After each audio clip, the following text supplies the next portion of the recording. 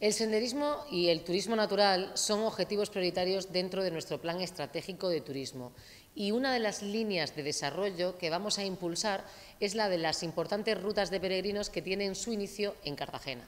Desde Santa Lucía parte la ruta que lleva hasta Santiago, desde el lugar en que desembarcó el apóstol, y desde Cartagena también sale la ruta que conecta con Caravaca.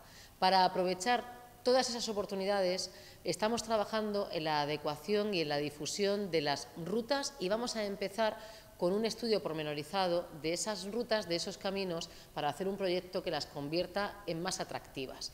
Hemos encargado un estudio que nos permitirá adecuar la ruta del apóstol, que es el camino de peregrinos que une Cartagena con Caravaca, y lo vamos a hacer sobre las dos posibles variantes.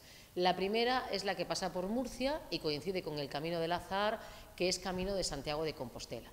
Esa ruta que atraviesa nuestro municipio empieza lógicamente en Santa Lucía, recorre unos 30 kilómetros y finaliza en los Martínez del Puerto. Desde allí sigue hacia Murcia, Molina de Segura, Mula, Bullas y Cejín, completando seis etapas de 158 kilómetros.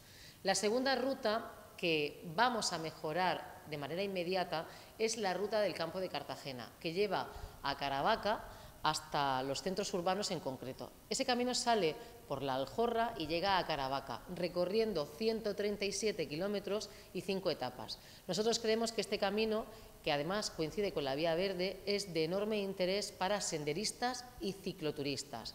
Por eso he presentado y hecho partícipe al alcalde de Caravaca y al propio presidente de la comunidad de este proyecto y ambos eh, también se han comprometido a impulsar estos recorridos en toda su extensión.